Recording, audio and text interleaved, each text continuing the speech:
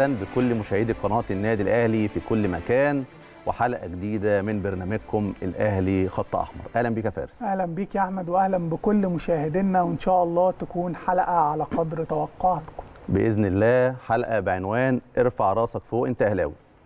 من عام 1984 وتحديدا مباراة محمد رشوان مع بطل العالم في الجودو البطل الياباني ما شفناش ابدا الضوء بيتم إلقائه على الوصيف. أو صاحب المركز الثاني.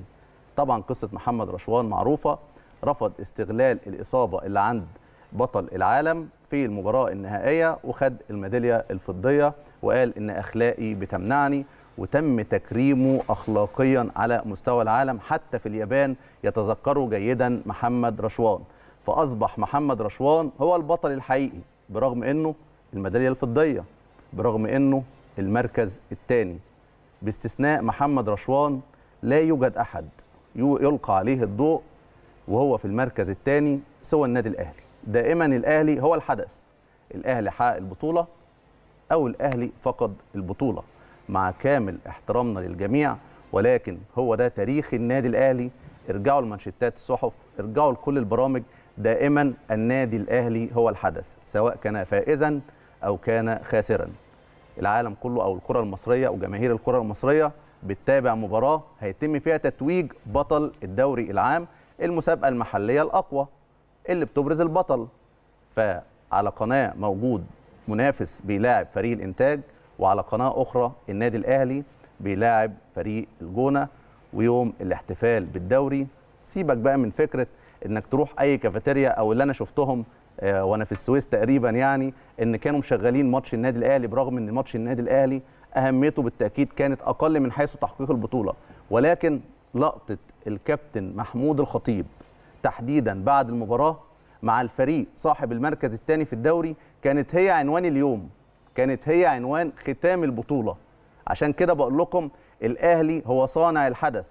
عشان كده الكابتن محمود الخطيب كان صادق جدا وهو بيقول للاعيبته ارفع راسك فوق انت اهلاوي. كلام بيردده جماهير لكن لما يكون رئيس النادي لاعب كورة أسطورة فهو أكتر حد يكون عارف معنى الكلام اللي بتردده الجماهير. فكانت الرسالة ارفع راسك فوق انت اهلاوي. انت في النادي الأهلي يبقى لازم ترفع راسك فوق. واوعى تقلق من جماهير النادي الأهلي. ليه؟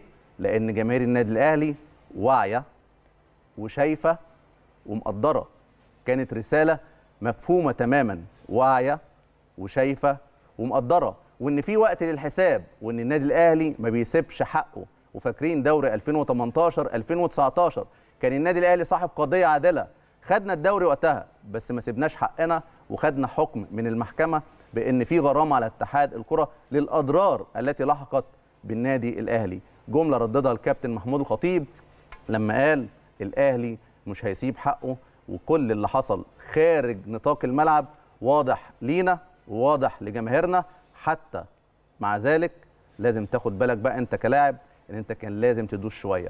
كان لازم تدوس أكتر من كده. كان عندنا اننا نقدر بعض المرات نكسبها لو ضغطنا على نفسنا. ولكن هي دي كرة القدم. في النهاية النادي الأهلي لم يحقق اللقب لكن النادي الأهلي صنع الحدث بنزول الكابتن محمود الخطيب أرض الملعب. وغير النادي الأهلي مش هتلاقي غير محمد رشوان البطل اللي كان مركز وصيف لكنه خطف انتباه العالم كله. ليه ده بيحصل؟ هقول لك أنا ليه ده بيحصل. ده بيحصل لأن الطبيعي في أي مكان في العالم إنك تقول النادي الفلاني فاز باللقب. إلا في الدوري المصري. الدوري المصري بيكون العنوان النادي الأهلي خسر اللقب. هو ده العنوان. لأن الدوري ده له حكاية اسمها حكاية الدوري الأهلي المصري. أيوه زي ما أنت سامع حكاية الدوري الأهلي المصري. القاعدة طول الوقت إن النادي الأهلي هو البطل. الاستثناء النادر إن النادي الأهلي ما يكونش البطل. المسابقة دي بدأت موسم 48 49 ولحد موسم 61 62 خلال الفترة دي اتلعب 12 موسم. النادي الأهلي فاز بكام؟ فاز ب 11 موسم ونادي الزمالك توج ببطولة واحدة. يعني سنة 62 كان النادي الأهلي عنده 11 لقب.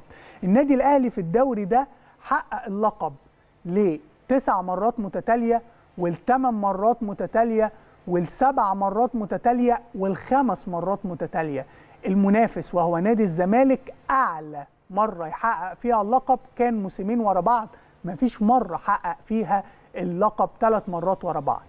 الدوري ده اتلعب منه في عدد النسخ من موسم 49 النادي الأهلي حقق 42 لقب الزمالك 13 لقب الإسماعيلي 3 ألقاب الترسانة والمقاولين والمحلة والأولمبي كل واحد لقب. يبقى عندك 42 لقب للنادي الأهلي و20 لقب لكل الأندية.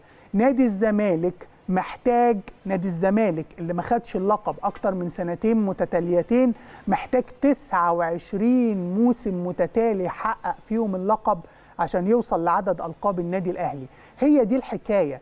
عشان كده كل الأنظار راحت للنادي الأهلي اللي خسر اللقب أكتر من فكرة أي حد كسب اللقب. كابتن محمود الخطيب نزوله كان رسالة. كابتن محمود الخطيب بلغة الأرقام أيضا الفيديو اللي اتصور ليه مع اللاعبين وصلت مشاهداته لما يقرب من 9 مليون مشاهدة.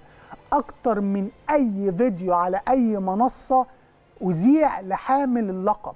أنت عارف يعني إيه في لغة الإعلام والصحافة والميديا إن يكون التركيز على لقطة تخص خاسر اللقب أعلى من كل لقطات التتويج باللقب. أيوه أنت في حضرة النادي الأهلي وفي حضرة الأسطورة كابتن محمود الخطيب.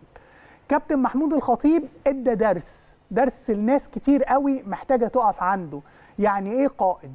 أي حد قرأ تاريخ عارف إن القائد دوره بيكون أبرز لحظة الخسارة. أكتر من لحظة الهزيمة أكتر من لحظة الانتصار. لحظة الانتصار سهل جدا تلاقي كل الناس موجودة.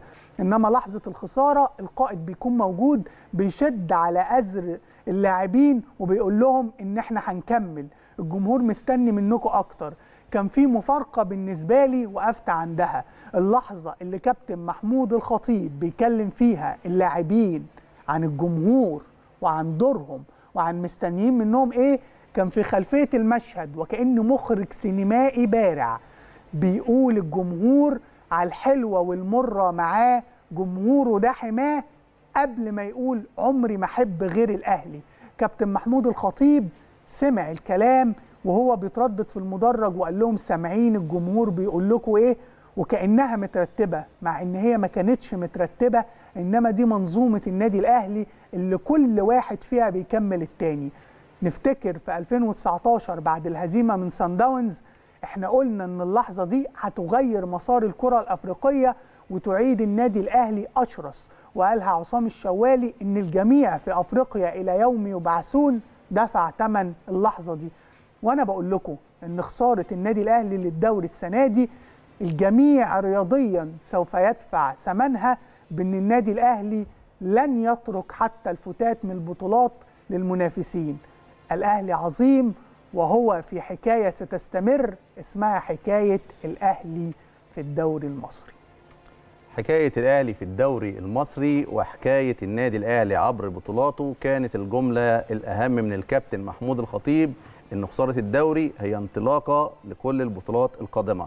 مفيش في كرة القدم إننا هنكتسح كل البطولات لكن في تاريخ النادي الأهلي مفيش في عقلية أي مشجع أهلاوي أو حتى منتمي للنادي الأهلي غير إنه يلعب على إنه يكتسح كل البطولات. فكانت الكابتن رسالة الكابتن محمود الخطيب الخسارة هي الانطلاقة. والجماهير اللي هي فرحتكم محتاجة إنكم تفرحوها مرة تانية لأنها تستحق. وإنك وإن أنتوا كمان كلاعبين تستحقوا. وشيء عظيم جدا برغم إن إحنا استعرضنا خلال مشوار النادي الأهلي الأفريقي. إزاي كان مجلس الإدارة وعلى رأسه الكابتن محمود الخطيب داعمين للاعبين دول وإزاي كانت البعثات الخارجية بيكون في تقارب وفي اهتمام من رئيس النادي الأهلي شخصيا في كل البعثات؟ ومع ذلك الكابتن محمود الخطيب بيقول لهم إحنا قصرنا في حقكم. رئيس النادي بيكلم لاعبيه بيقول إحنا قصرنا في حقكم. ليه؟ لأنكم تستحقوا التكريم. وأوعى تنسى إن انت بطل افريقيا مرتين على التوالي ودي ما بتحصلش كتير بالفعل حصلت مع النادي الأهلي ثلاث مرات. أوعى تنسى إن انت بطل السوبر أوعى تنسى إن انت صاحب برونزية كأس العالم للأندية. الميدالية الثانية بعد الجيل العظيم جيل أبو تريكة وبركات وعصام الحضري وفلافيو ومتعب. مش عايز أنسى حد. ووائل جمعة طبعا مع احتفاظنا طبعا للجميع بالألقاب. دي كانت رسالة الكابتن محمود الخطيب وده كان ختام المشهد اللي المفترض كان يتوج من وجهة نظرنا بالنادي الأهلي بطل للدوري المصري. ولكن الكابتن محمود الخطيب كان عارف إن في جزء علينا كان المفترض إننا نقوم بيه بشكل كويس وجزء خارجيا المفترض إن يتم الحساب عليه لأن الأهلي مش بيسيب حقه. الجزء اللي كان علينا هو الجزء اللي أوضحه بيتسو موسيماني لما قال أنا اتعلمت ودايما أنا بتعود إن أنا أدفع في مقابل التعليم. بعد ما خلصت مباراة الأهلي وأسوان كان المؤتمر الصحفي تقريبا بيتسو موسيماني بيتكلم عن الكلام اللي قلناه هنا وراجعوا حلقاتنا كويس جدا. لما قلنا بيتسو موسيماني جاي من background دوري جنوب أفريقي تعادل تسع مرات اتهزم خمس مرات لكنه في النهاية ما كانش أقوى هجوم ولا أقوى دفاع لكنه في النهاية كان بطل الدوري الجنوب أفريقي. مع الدوري المصري قلنا الوضع مختلف وإن بيتسو موسيماني فاهم كويس جدا أدغال أفريقيا ولكن لم يتفهم بعد الدوري المصري. ده الكلام قلناه هنا في. الأهلي خط أحمر. فبيتسو موسيماني قالوا في المؤتمر الصحفي عشان يؤكد إن إحنا دايما صادقين معاكم بنحاول نوصل لأدق أدق تفاصيل كرة القدم وربنا بيوفقنا دايما بفضل الله. نطلع نشوف فيديو بيتسو موسيماني وهو بيتكلم عن الدوري المصري. بص هو السؤال بس وكان الأستاذ محمد بيسأل بيقول له بيقول له أنت عملت موسم كبير في خلال 10 شهور أقل من سنة. حققت ألقاب كانت غايبة عن النادي الأهلي زي الكاس السوبر وزي كاس مصر وزي أفريقيا مرتين أفريقيا وزي ميداليه برونزيه ل- لكأس العالم للأندية. إيه رسالتك للنادي الأهلي جماهير النادي الأهلي دايما في ظهرك ودايما بتدعمك؟ وعملت ملحمة زي حتى تعبير حياتك ادويه ملحمة في حب النادي وفي حب ال- اللاعبين والفريق والجهاز. فهو بيرد بيقول آه، أنا اتعلمت دفعت المصاريف الدراسية بمعنى أنا اتعلمت دفعت ثمن التعليمي يعني؟ Um, I came naive and uh, not not knowing what is happening, وصلت ساذج مصر ما كنتش عارف إيه اللي بيحصل. Not understanding the the dowry, ما كنتش فاهم إيه الدوري الدوري المصري not understanding the the, the culture of my players, ما كنتش فاهم ثقافة اللاعبين بتوعي didn't even understand the religion. حتى الجزء الديني الدين ما كنتش فاهم تعاليم الدين I didn't understand many things. حاجات كتيرة ما كنتش فاهمها لما جيت I just came and, and came for football. جيت بس لكرة القدم But I've realized that uh, it's more than football. بس عرفت الموضوع اتاكدت الموضوع أكبر من كرة قدم But uh, yes, I've made a lot of mistakes. طبعا أنا ارتكبت اخطاء كتير I, I, I, I, look back and I said, oh, I made, I made many mistakes, but I made mistakes because I was a, a little bit uh, not aware. You know, like a small two-year-old, you can just cross the street.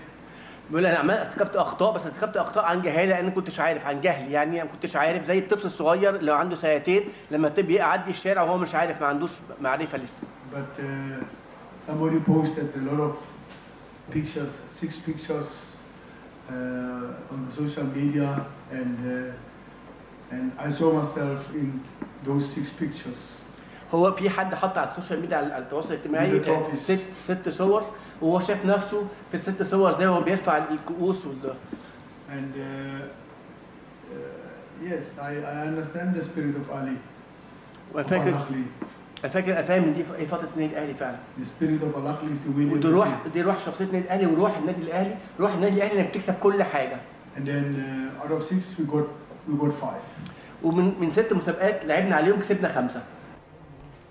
جميل جدا إن كل مدير فني تقريبا بيجي النادي الأهلي بيحقق نجاحات بيكون بيتحمل جزء أيضا من الاخفاقات وما بيهربش من المسؤولية.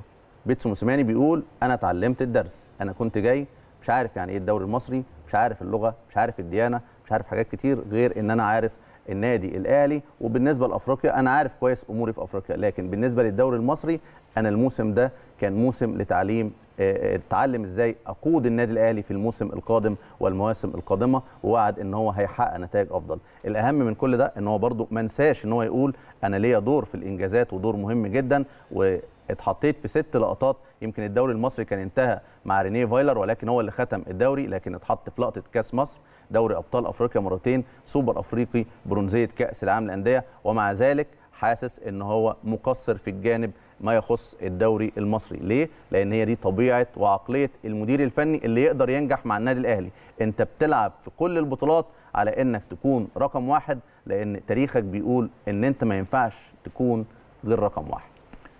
بص يا أسامة آه، في حتة لازم نتكلم فيها مش بنتكلم إن إحنا قلنا. والله مش دي القصة.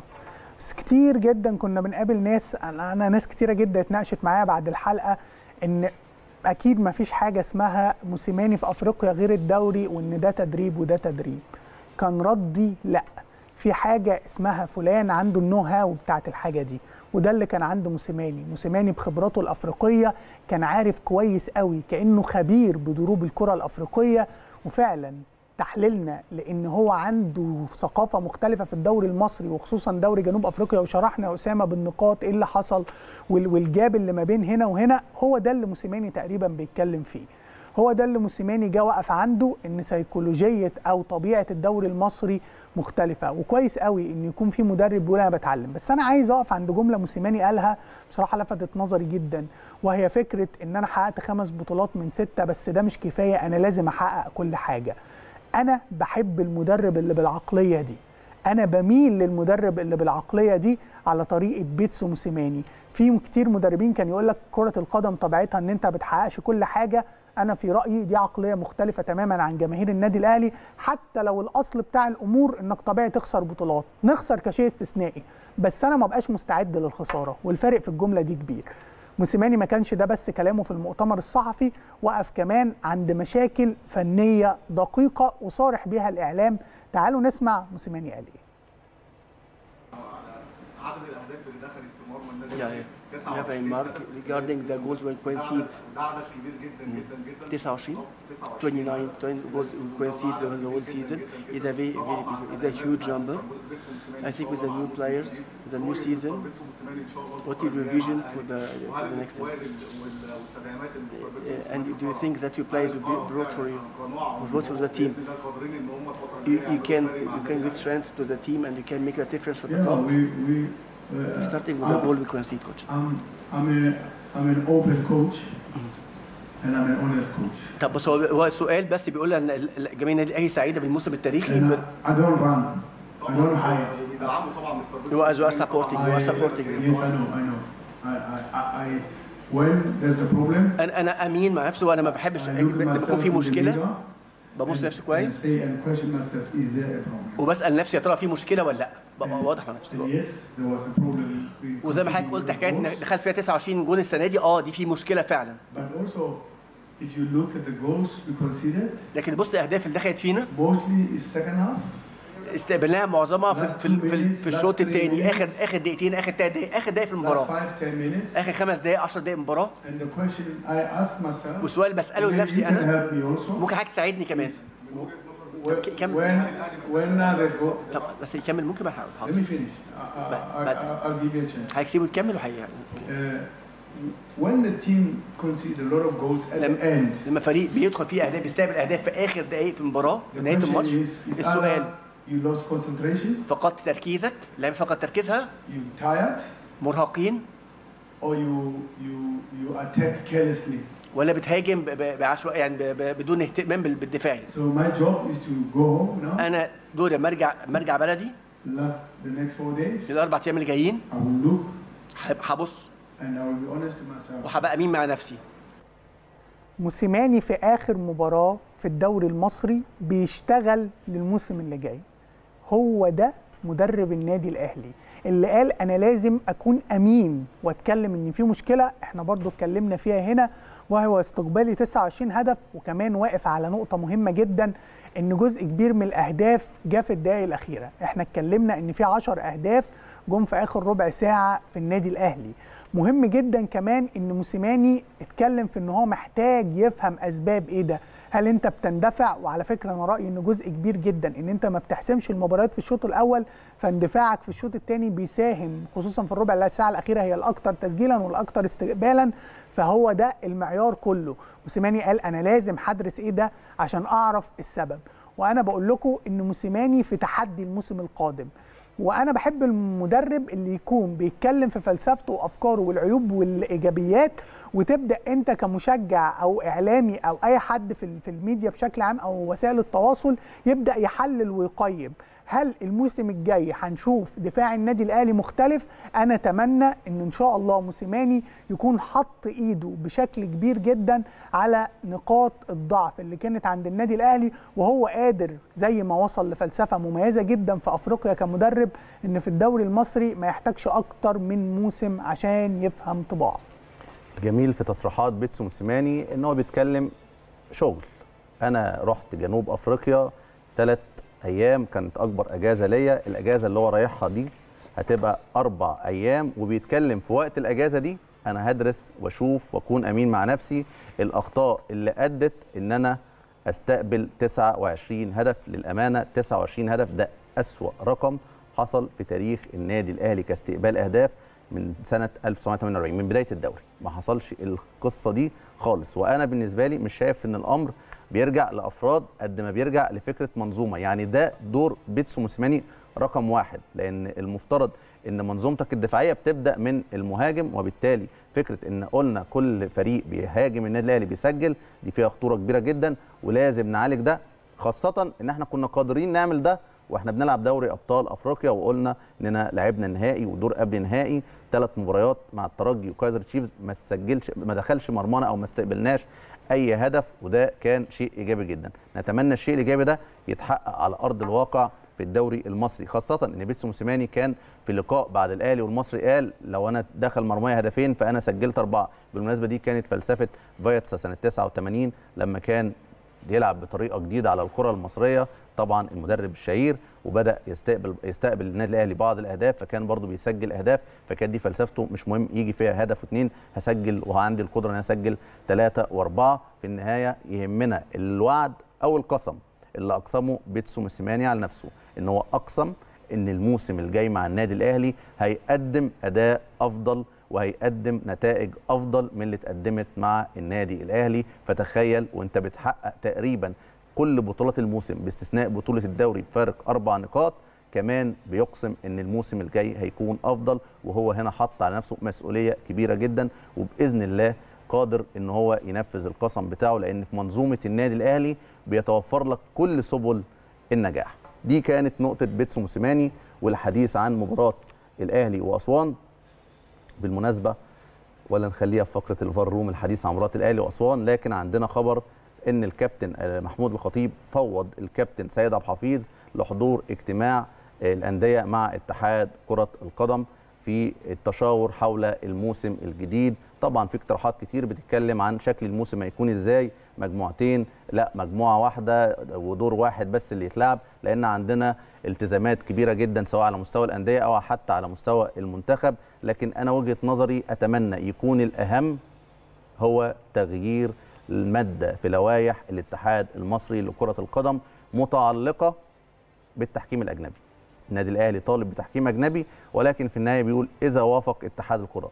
كلمة إذا وافق وافق اتحاد الكرة دي نتمنى بس اتحاد الكرة يعدلها وتطرح الأمر لكل الأندية وتمنحهم حقهم طالما في لائحة بتقول قبل 15 يوم تقدر تحط المبلغ آه، ال- ال- المتبع أو الجاهز إن أنت تستخدم بيه حكام أجانب. لكن تقول لي حط المبلغ وقبلها ب 15 يوم وأنا وافق ولا لا دي اعتقد ان انت بتمنحني حق ثم بتسلبه مني في نفس المادة وده شيء صعب جدا. ولكن كل التوفيق للأندية كلها إنها تطلع بشكل مع اتحاد الكرة وحل لموسم قادم يا فارس أعتقد هيكون مليء بالاحداث بص هو أنا عايز أقول لك حاجة. موضوع التحكيم الأجنبي ده أنا عندي وجهة نظر فيه.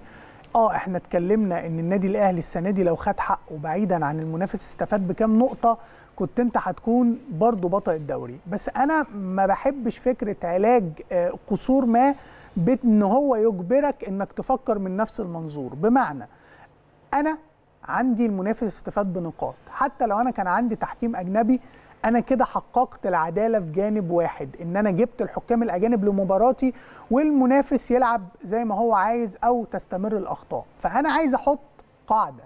لا أنا ما عنديش مشكلة لازم يكون في طرح قوي لتقييم تجربة رئيس لجنة الحكام السنة دي واتحاد الكورة ونعرف إيه المشكلة. ومفيش عندي مشكلة بما ان الأندية المسابقة دي في رعاة وفي وفي استثمار وهي اقتصاد زي ما أي حد عارف لا لو رئيس لجنة الحكام بالوضع المزري اللي شفناه تحكيميا ده أنا بشوف رئيس لجنة حكام أجنبي دي وجهة نظري أو خبرات تضيف لنا أو أغير ده نقطة مهمة. رقم اتنين يا أسامة جودة التصوير.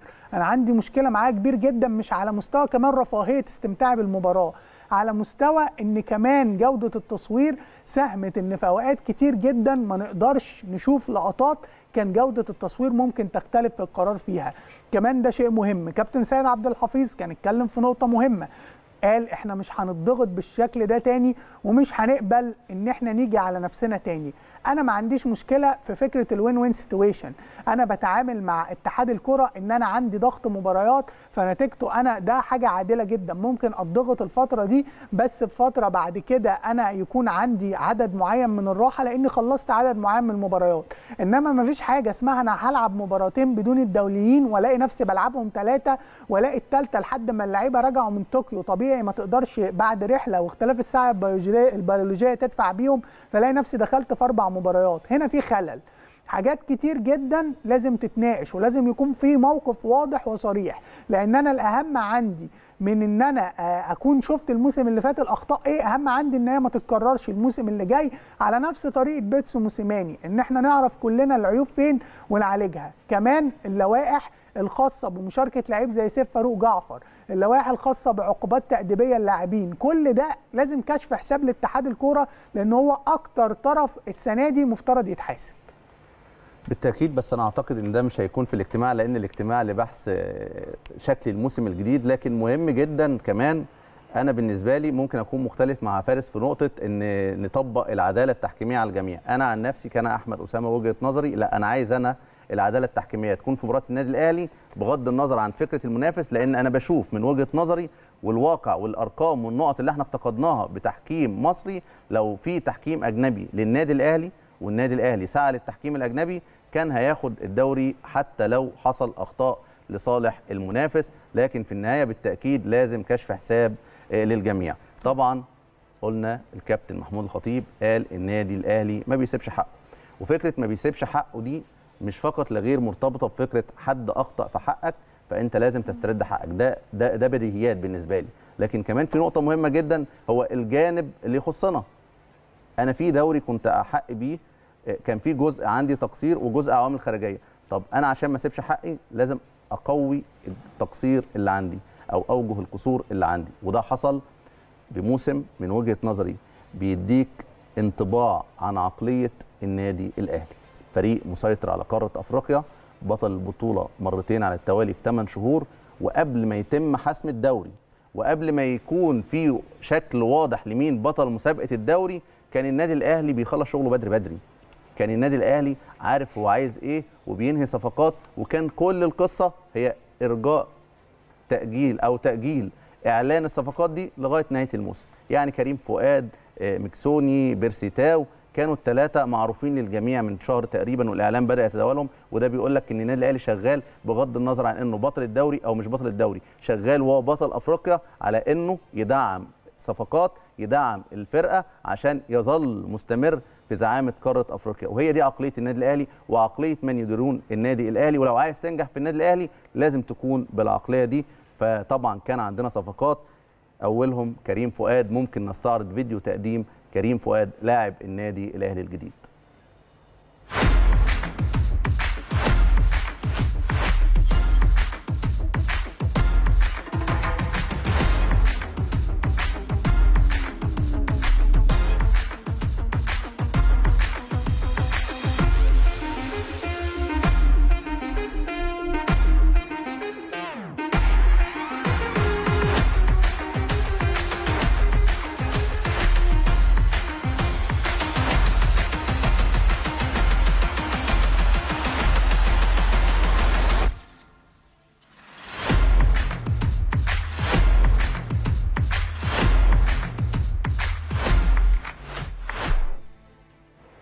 مبدئيا حابب أشيد بشغل المركز الإعلامي في خلال إعلان الصفقات بصراحة تقديم عالمي مجهود يعني خرافي. شفنا تقريبا كل ساعتين كان بيتم الإعلان عن صفقة فحابب أشيد بكل العاملين في المركز الإعلامي من أكبر آه، مدير المركز الإعلامي الاصغر عامل في المركز الإعلامي في النادي الأهلي بالفعل قدموا يوم خميس يوم تاريخي. خطفوا كل الأضواء كل المواقع كانت بتتكلم عن طريقة التقديم وعن صفقات النادي الأهلي اللي كل ساعتين كان بيظهر حد منهم. طبعا بدأناهم بكريم فؤاد. كل صفقة بتيجي النادي الأهلي بالتأكيد شايف إنها عندها عوامل النجاح. فكرة النجاح من عدمه التجربة والملعب هو الفيصل في الموضوع. أنا شخصيا مش بتحمس بشكل كبير جدا لأي صفقة ايا كانت إلا لما أشوفه على أرض الملعب وهل هو جدير بتيشيرت النادي الأهلي ولا لأ. ولكن الصفقات اللي الأهلي تعاقد معاها هي صفقات مؤشرات النجاح عندها من وجهة نظري عالية جدا جدا. بص يا أسامة آه، ساعات يكون عندك منتج جيد ولكن أنت ما بتكونش على نفس الجدوى الجوده بتقديم المنتج الجيد ده بالشكل اللائق. ده مختلف تماما في النادي الأهلي. أنا شفت منظومة محترفة في جاب ما بينها أنا آسف إني بقول كده جاب ما بينها وما بين أندية كتير جدا جدا حتى في الشرق الأوسط إزاي انت تقدر تصنع الحدث إزاي التسلسل التدريجي على طريقة السيناريو إزاي تقدر تخلق حالة إزاي تقدر تجمع الناس إزاي تقدر تخلي ده الترند الكامل وهو صفقات النادي الأهلي. وده شيء مهم جدا. ده اللي حصل على مدار اليوم ومش بس خلال اليوم خلال الفترة كلها اللي فاتت إحنا شفنا إزاي النادي الأهلي اشتغل بمنظومته الإعلامية بالكامل بالتواصل مع قناة النادي الأهلي وصفحات النادي الأهلي فعلا كان في شيء محترف ومحترم ومهني جدا. بس كمان حابب أقول إن كريم فؤاد لاعب بنتوسم فيه خير وكريم فؤاد مش من دلوقتي ودي الحتة اللي أسامة قالها لكم وهممني جدا إن إحنا نأكد على ده إن يا جماعة النادي الأهلي مش رد فعل لأن بشوف إن ناس بتتكلم يا أسامة فكرة رب ضاره نافعه إن إحنا خسرنا الدوري فعملنا صفقات. بالظبط. زي ما أسامة قال لكم دي يا جماعة مش عقلية النادي الأهلي. إحنا شفنا في 2005 وفي 2006 أنت كنت بتبقى بطل بفارق عدد نقاط غير طبيعي مع المنافس وكنت بتدعم نفسك بتدعيمات قوية جدا لأن أنت بصوا أنا عايز أقول لكم قاعدة. النادي الأهلي بينافس نفسه. أي حد أي حد شايف الصورة غير كده هو شايفها مغلوطة. النادي الأهلي بينافس نفسه وده اللي بيعمله. النادي الأهلي بينافس أرقامه وبينافس تاريخه. بعد كريم فؤاد كان عندنا آه، صفقة تانية وهي الموزمبيقي لويس ميكيسوني. لاعب آه، أعتقد إن إحنا هنشوف منه كتير ولكن محتاجين نشوف الفيديو اللي تقدم بيه اللاعب ونرجع نكلمكم عنه شوية.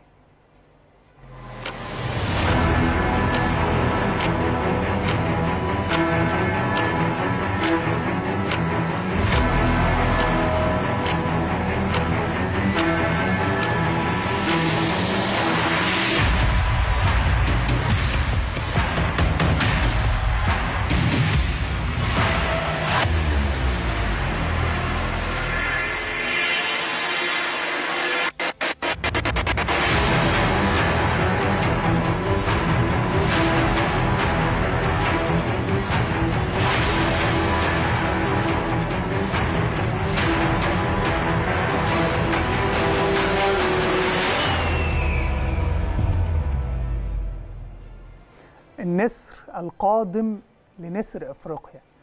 آه أنا حابب أقول إن اللاعب ده أنا بتوسم فيه خير مش على مستوى كمان الإمكانيات.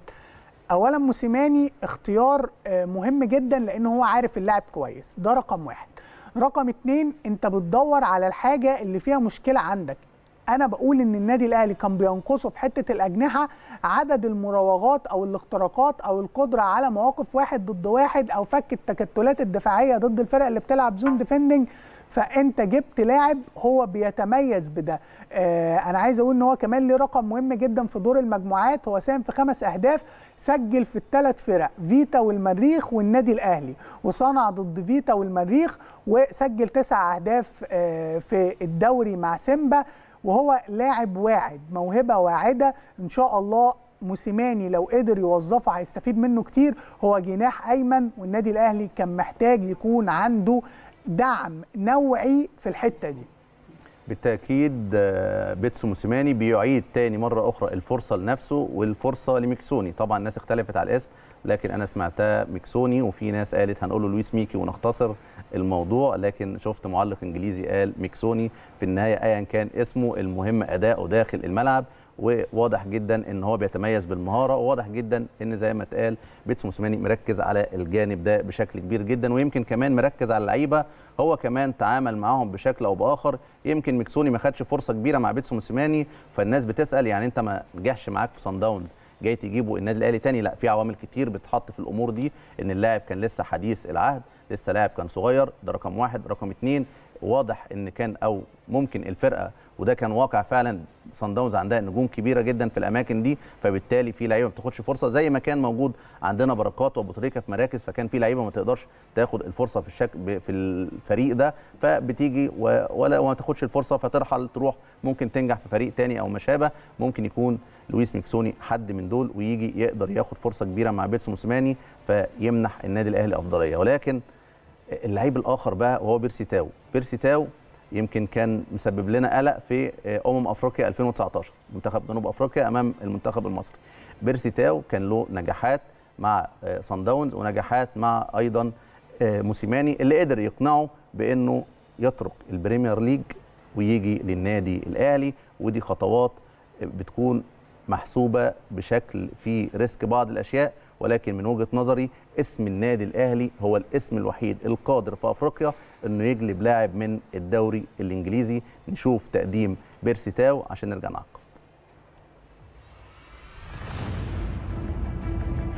82 أهلي 87 الاهلي 2001 الاهلي 2005 أهلي 2006 I choose history.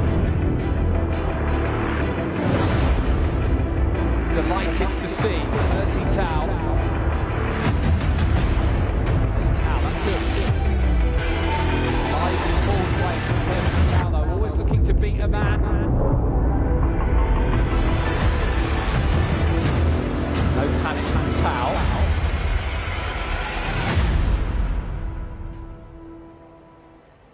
بيرسي تاو قال جملة مهمة جدا من وجهة نظري ما تتقالش غير في النادي الأهلي. أنا اخترت التاريخ. أنا اخترت التاريخ. أنا اخترت النادي الأهلي. يمكن حتى بيتسو موسيماني عقب بتويته وقال له أنت اختيارك كان صح. ومعا مرة أخرى هنصنع التاريخ وفكروا طبعا بنهائي دوري أبطال أفريقيا 2016 اللي فاز فيه صن داونز بالبطولة بعد ذهاب 3-0 وعودة انهزم 1-0 وحقق البطولة على استاد برج العرب. فقال له هنكررها تاني وهنقدر ننجح تاني ويمكن كان التقديم فيه نقطة مهمة جدا. كلمة أنا اخترت التاريخ اللي أصر عليها بيرسي تاو تم تداول فكرة التاريخ أمامه 82 و87 و2001 و2005 و2006 وإزاي النادي الأهلي بيحقق دوري أبطال أفريقيا.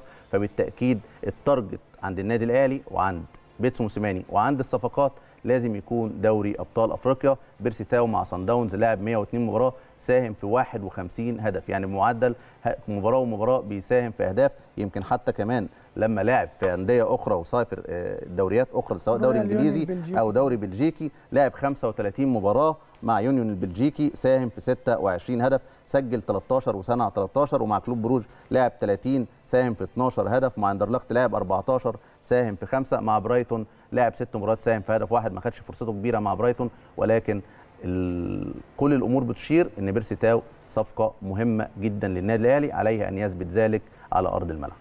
كل الأمور فنية قابلة للاحتمالات دي قاعدة شفنا لاعبين كبار جدا بينتقلوا الأندية.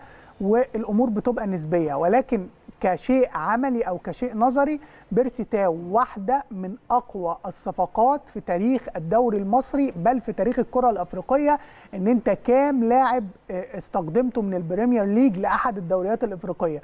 وأنا عايز أقول إن ده مش غريب عن النادي الأهلي يا جماعة. النادي الأهلي طلع لاعبين كتير من النادي الأهلي لعبوا في ال Premier League. حتى لو ما كانش انتقال مباشر في البعض انتقال مباشر والبعض من خلال تدرج وصل لل Premier League. فأنت نادي صاحب مكانة مختلفة. ده ما بيحصلش الحالة دي كلها ما بتحصلش في أفريقيا غير معاك بيرسي تاو لاعب دولي لاعب لاعب في دوريات كبرى لاعب عنده شخصية لاعب كمان أنا بشوف إن لازم إدارة النادي الأهلي تاخد حقها. في إصرارها على إن هي تستخدم لاعب زي ده حتى لو كانت الصفقة بقيمة عالية. وكمان لازم أدي موسيماني حقه وده هنا اللي لازم يتقال. موسيماني ليه دور كبير جدا لأنه كان ليه حوار مطول. اتكلم فيه عن إنك إزاي بيرسي تاو هل بترغب إنك تعلق الحذاء بتاعك بعد مسيره انت مميز فيها جدا تكون بتسيب آه، بصمة ضعيفة في نهايتها ولا انت حابب تكتب التاريخ؟ واعتقد دي العقلية اللي من خلالها آه، بيرسي تاو تم إقناعه بالانتقال للنادي الأهلي. وعشان كده دي صفقة مهمة جدا إن شاء الله تفرق مع النادي الأهلي لأن اللاعب كمان بيلعب في أكتر من مركز. على الجانب الآخر آه، بمناسبة اللعب في أكتر من مركز صفقة حسام حسن. كانت صفقة مهمة. النادي الأهلي بيشوف النقط الضعف اللي عنده كمان بيحاول يكون عنده تنوع وده كان أحد أهم أسباب اختيار حسام حسن. قبل ما نطلع ونشوف الفيديو حابب أقول إن اللاعب اللي بيختار النادي الأهلي دايما دايما بنسبة كبيرة بيكون له بصمة مع النادي الأهلي. حسام حسن في لحظة اختار النادي الأهلي بلا تردد رغم إنه كان مكان تاني بيضغط عليه لشهور ولكن مين يقدر مين يقدر يقاوم النادي الأهلي واسم النادي الأهلي؟ نشوف الفيديو بتاع حسام حسن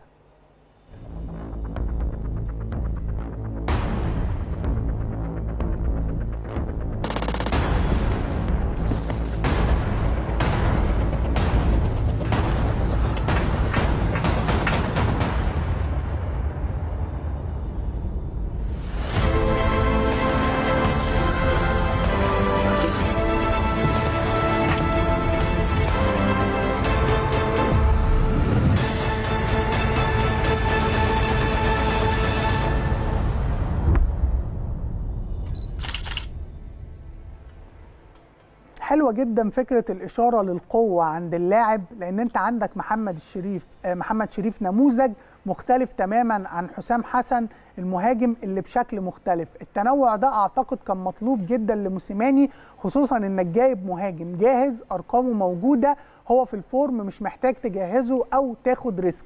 كان شيء مهم جدا. وأنا في النهاية عايز أقول إن مبروك على أي لاعب التوقيع للنادي الأهلي لأن أي لاعب بينضم للنادي الأهلي بيكون إضافة ليه وهتلاقي فين تاريخ زي اللي موجود في النادي الأهلي. نشوفكم بعد الفاصل وفقراتنا بنفس السخونة. منتظرينكم.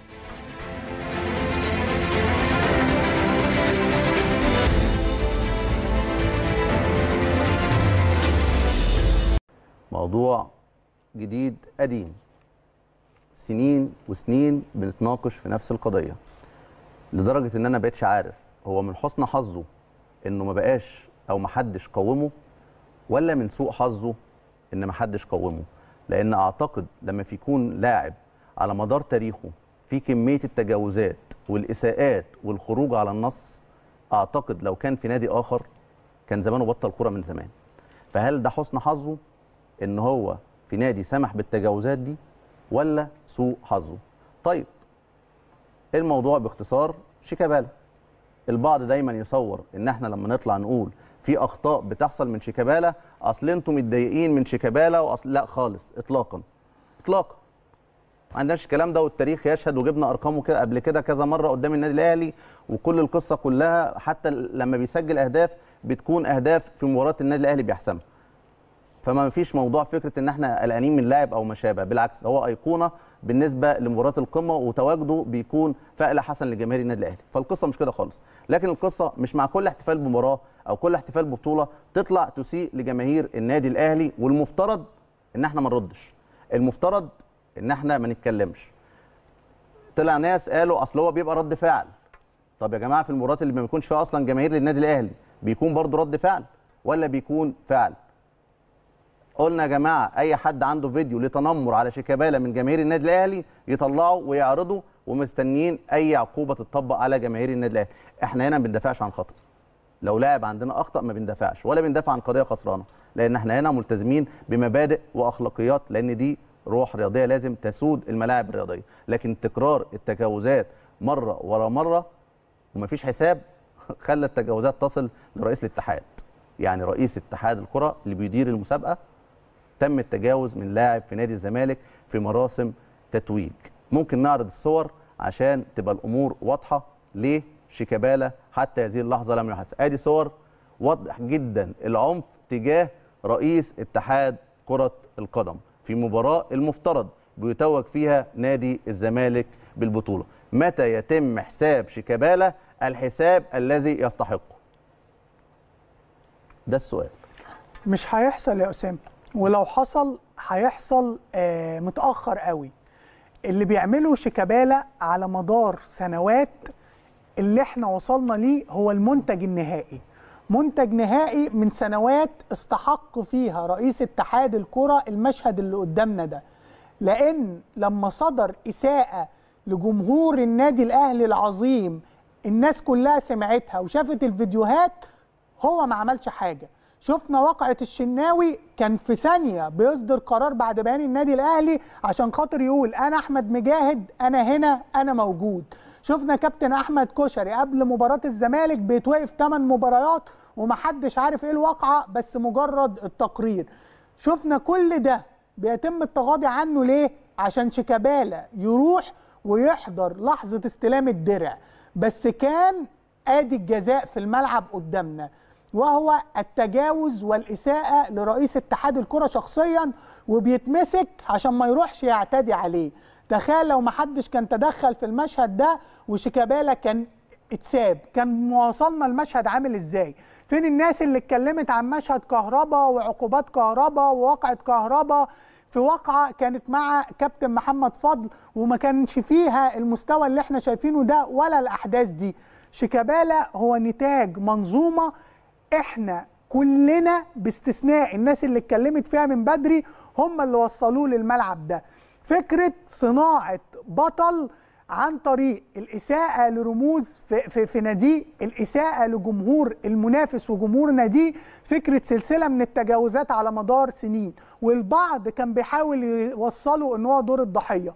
هو هو البعض دلوقتي اللي يتكلم على استحياء يا إما ما تكلمش أنتوا اللي وصلتوا شيكابالا لكده. أنا عايز أقول اي مشهد في العالم في لاعب بيحاول يعتدي على رئيس اتحاد الكرة اللي إحنا عندنا تحفظات كتير على إدارته. ولكن كنت حريص إن شيكابالا يحضر الاحتفال ويشيل الدرع.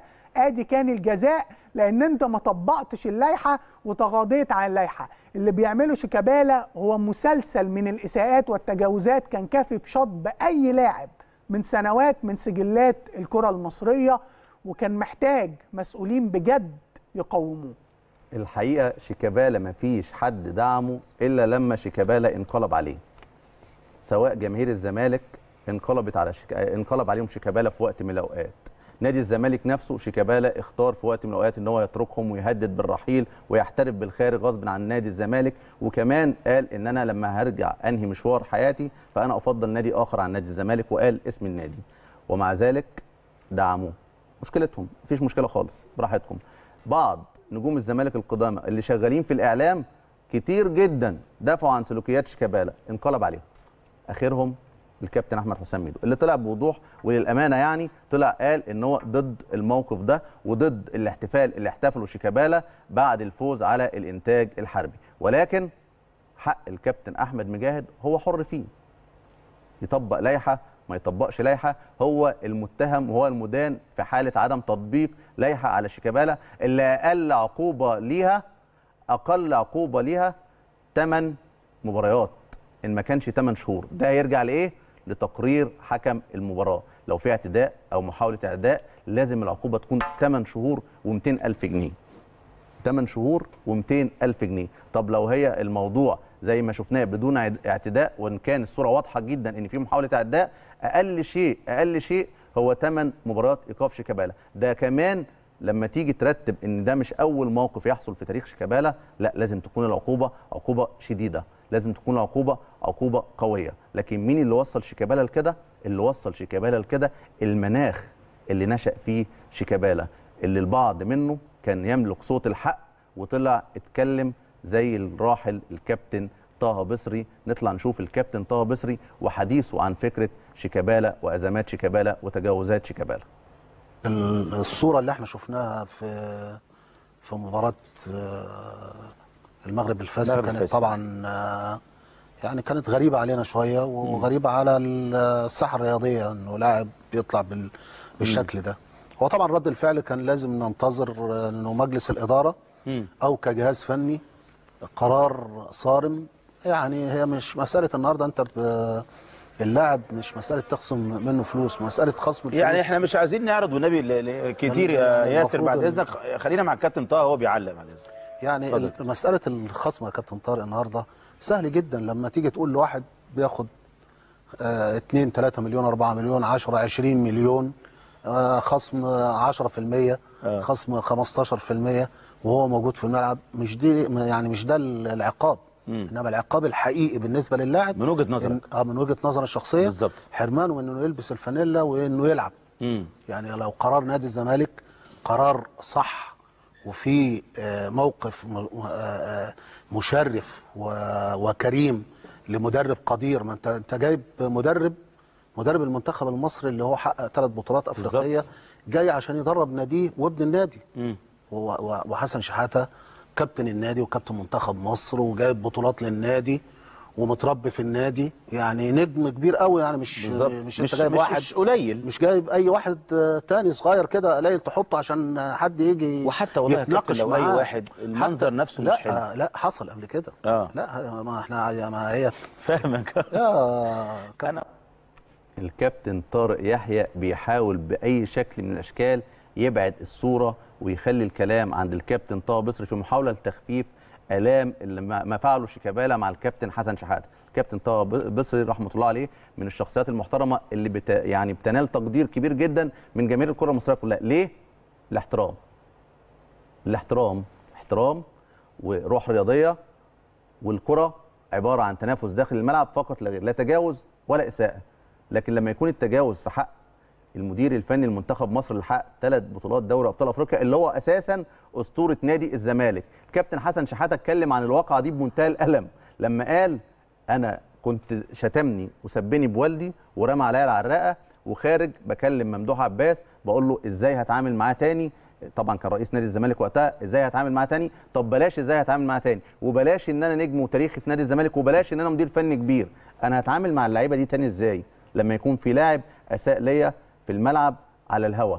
اتعامل مع اللعيبة التانية. هتسمع كلامي إزاي؟ اللي حصل إيه؟ اللي حصل إن تم الاستغناء عن الكابتن حسن شحاتة. اللي حصل إن النادي كان في ظهر شيكابالا. فلو عايزين تعرفوا ليه شيكابالا دلوقتي مش فارق معاه أي حد وشايف نفسه فوق أي حد على اللعبة شيكابالا اللي في نفس الدوري اللي هم احتفلوا بيه بيقول عايزين توجهوا الدوري وجهوه. كان بيكلم اتحاد الكرة ومحدش عاقب.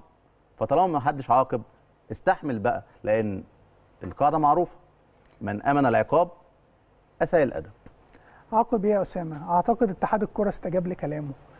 آه كابتن شيكابالا عايزك تفتكر حاجة. كابتن طه بصري لما جمهور النادي الأهلي أي حد بيفتكره دلوقتي بيقول قبله الخلوق طه بصري. والله العظيم زي ما بقول لك أي مشجع أهلاوي بيقول الخلوق طه بصري. تعتقد انت الكلمة اللي ممكن تتحط قبل اسمك عند جمهور النادي الأهلي إيه؟ فكر فيها وانت هتعرف. تاني حاجة زي ما قلنا لو كل اللي بيحصل مع شيكابالا نتيجة ردود فعل هل أساء ليه آه كابتن حسن شحاتة؟ أكيد لأ. ولكن أنتوا اللي على مدار سنوات مش عايزين تقوموا اللاعب.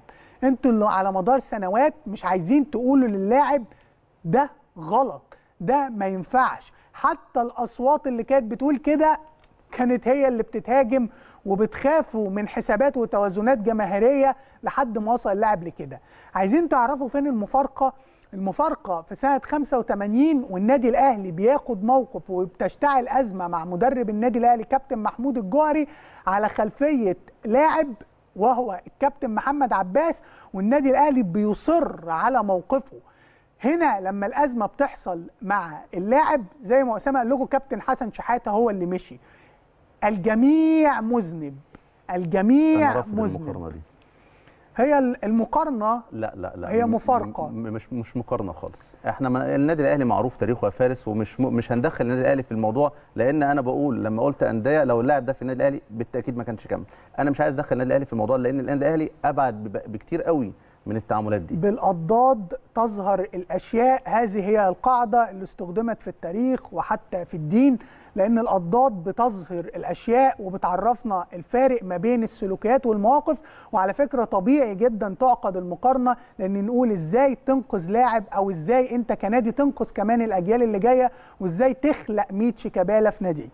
ما كانش ده بس المثال كان كمان كابتن إبراهيم يوسف الخلوق أيضا وهو بيتكلم عن شيكابالا في موقف مهم جدا. نطلع ونشوف كابتن إبراهيم يوسف قال إيه. لا هو تصرف غير مقبول على الإطلاق. نعم.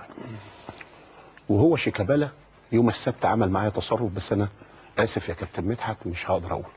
مع معاك أنت معايا أنا شخصيا شخصيا آه في حضور الكابتن حسام حسن وفي حضور الكابتن إبراهيم حسن وفي حضور الكابتن طارق لا وانت سليمان. كابتن مصر يا كابتن إبراهيم يعني لا أنا كمان بالنسبة له برضه حاجة تانية. وبعدين يعني. يعني يعني عارف يعني أنا بالنسبة له ده أصغر من عبد الرحمن ابني. ده أنا جاي له عشان أهديه عشان عقده لأنه هو كان طالب عقده. عقده اللي هو مضى. آه. طب ليه يا شيكا ما أنت خدت ال- المقدم وخدت الفلوس. قال لي لا عشان ما حدش قال لكم في في, في المجلس مبروك. ما حدش قال له مبروك يا مب- كابتن إنك أنت؟ آه. مضيت لنادي الزمالك. آه.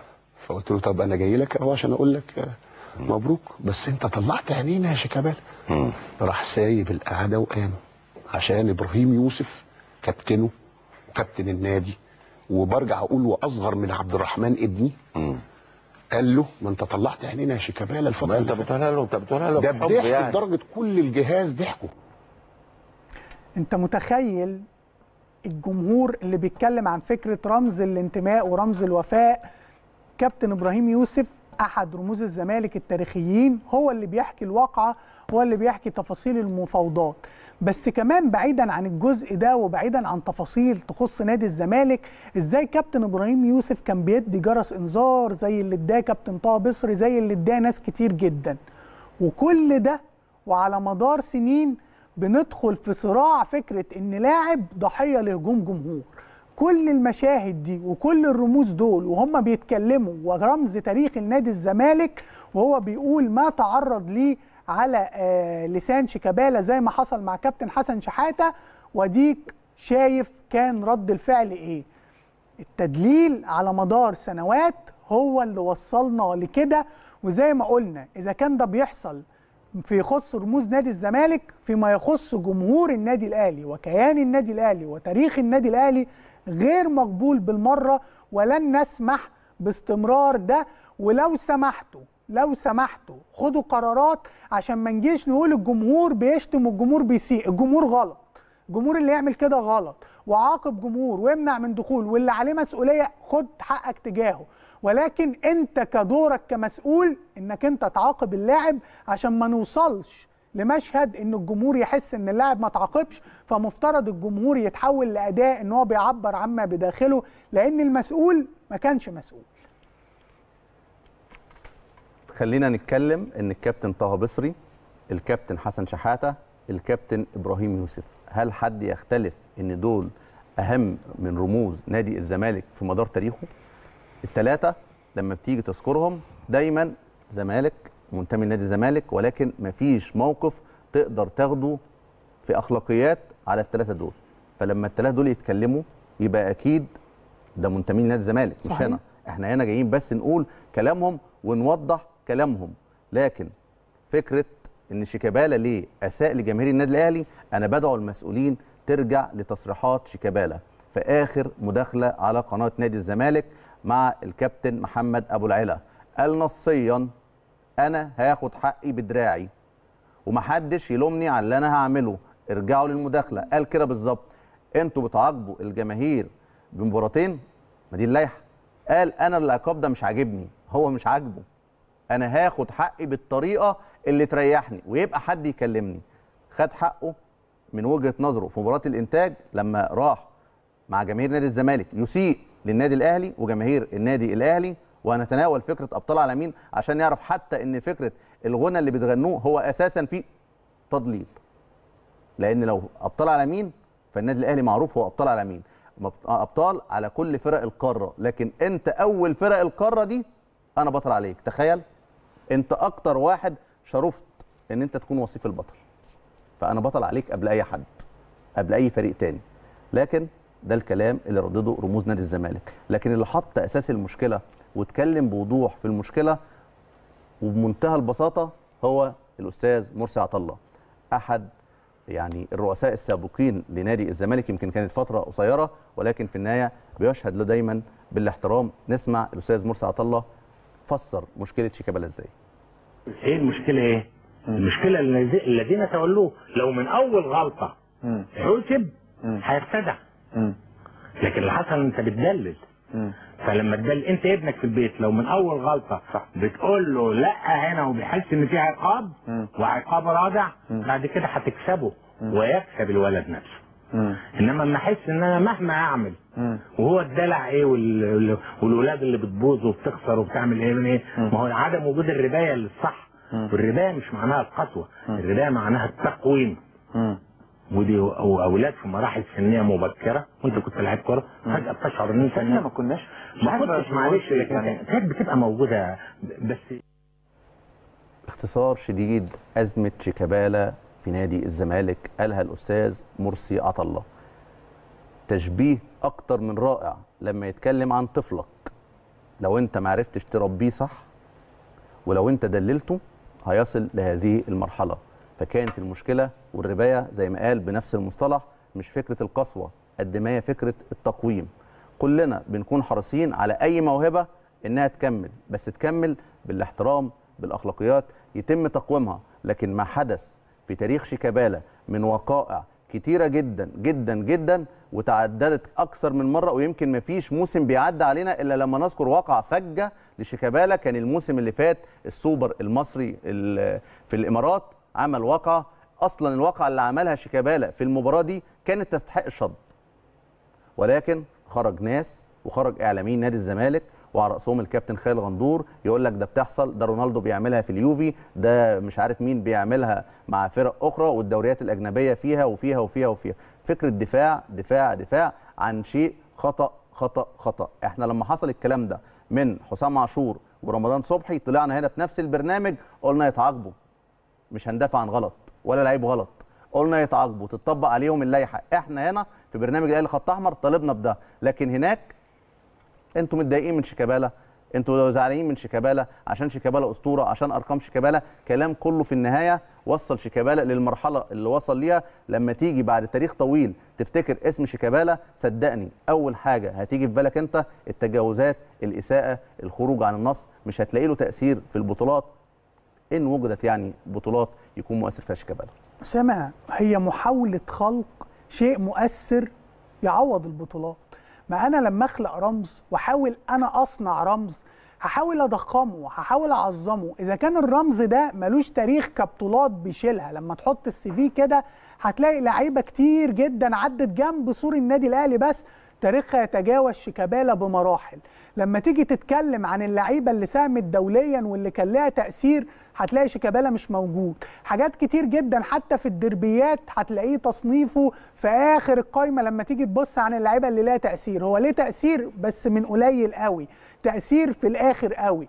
كل ده مش موجود. فهتحاول تعمل إيه؟ تصنع بطولة موازية. وهي إنك تعيش في عالم افتراضي شايف إن النادي الأهلي فيه مش بطل عليك شايف إن أنت ما عندكش أخطاء شايف إن إعلامك إن أنت بيقول لك كمل شايف إنك ضحية أو أنت مظلوم.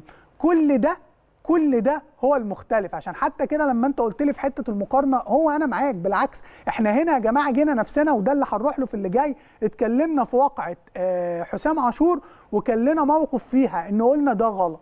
ليه؟ لأن أصلا منهجية النادي الأهلي هتخلينا وإحنا قاعدين هنا لو ما قلناش لجمهورنا إن ده غلط الجمهور مش هيحترمنا. إنما على الجانب الآخر أنت كمشجع عايز تسمع إن ده صح. وعايز تسمع إن آه قول واشتم وسيء إنما إحنا ده مش منهجنا.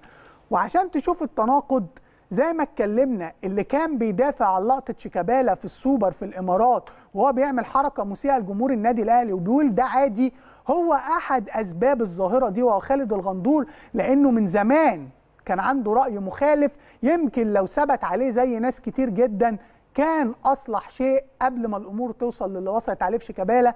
تعالوا نسمع قال إيه خالد الغندور.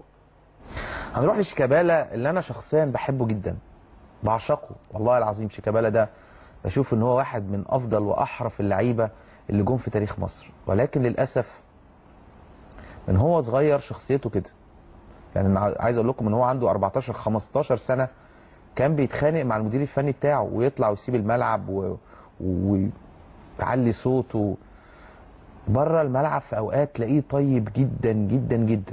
وفجأة تلاقيه انفجر فجأة واعترض فجأة وعمل حاجات غير منطقية.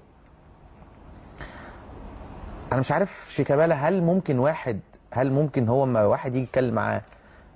ممكن لما يجي يتكلم معاه ويقول له غلط يا شيكابالا هو هيفهم ده؟ ولا خلاص هي دي الشخصية؟ هي دي شخصيته كده يعني خلاص محدش يقدر يغيره. في وقت يكون طيب وقت يكون متنرفز وقت يخرج عن النص وقت يتخانق. وشفنا على مدار يعني الإنسان اللي بيتعلم ما يعمل خطأ مرة أو الثالثه يعني يتعلم. لكن من الواضح إن شيكابالا على مر عنده 26 سنة بقاله في كرة القدم 10 سنين. في العشر سنين مفيش سنة بتعدي إلا ما لازم شيكابالا يكون عامل مشكلة مع جمهور الأهلي أو جمهور الزمالك أو حسن شحاتة أو قبل كده حسام حسن. أو غياب ويروح حفلة ويسيب معسكر أو يتخانق مع زمايله أو يتخانق مع هاني سعيد وهاني سعيد من كتر غيظه ويروح شايط الحديد ويعمل عملية ويغيب ثلاث شهور أو يتغير فيتضايق من حسام حسن قبل كده يتغير فيتضايق من حسن شحاتة ويقعد ثلاث أيام يجي له برد أو ما يروحش المنتخب ويقفل تليفوناته والناس تقعد تدور عليه وعمرو الجنايني يروح له البيت وبعد كده حسن شحاتة يهدد لو ما جاش المنتخب.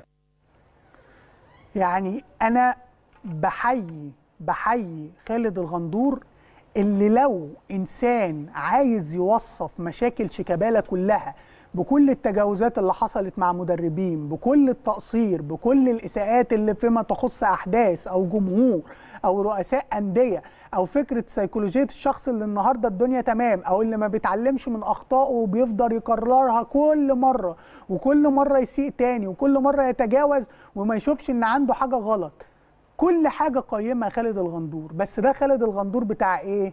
بتاع دريب انما دلوقتي خالد الغندور بتاع إيه؟ اللي خلاص أنا مصنف لازم اسمع الجمهور اللي هو عايزه. كلكم مذنبين وبكررها للمرة المليون. كلكم مذنبين. ولو أنتم مذنبين في حق تاريخكم وفي حق ناديكم وفي حق ان أنتوا عايزين تعملوا منه اسطورة فده بعيد عن النادي الاهلي. انما مش هنسمح ان حد يذنب أو يسيء أو يتجاوز في حق النادي الاهلي. واللي أساء للنادي الأهلي ككيان وكبطولات وكتاريخ لازم يتعاقب ولازم هيكون في موقف والمرة دي مش هتعدي. وخليكم فاكرين ده كويس.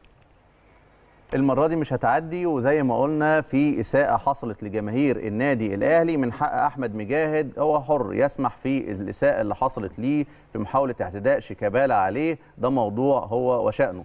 أخيرا بس الناس اللي بتحاول تصور الأمر بين شيكابالا وأحمد مجاهد زي اللي حصل بين محمد فضل وكهربا هو محاولة برضو لنقل صورة مغلوطة. ليه؟ إحنا في البرنامج برضو هنا طلعنا قلنا إن محمد فضل لم يتصرف تصرف المسؤول. على عكس اللي عمله الكابتن أو الباشمهندس أحمد مجاهد هو تصرف تصرف المسؤول. دي لقطة رسمية ما ينفعش أطفال وأسر يدخلوا فيها.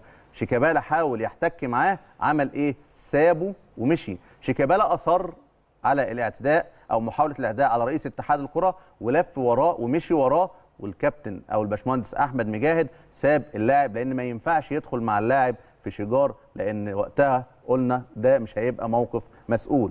أزمة بقى كهربا ومحمد فضل إيه اللي حصل؟ اللي حصل إن مؤمن زكريا جاي فكهربا رايح ياخد إيد مؤمن زكريا ويمشي معاه. أول موقف رد فعل حصل كان من محمد فضل عمل إيه؟ زق كهربا. كهربا قام شايل ايد محمد فضل ومكمل في طريقه.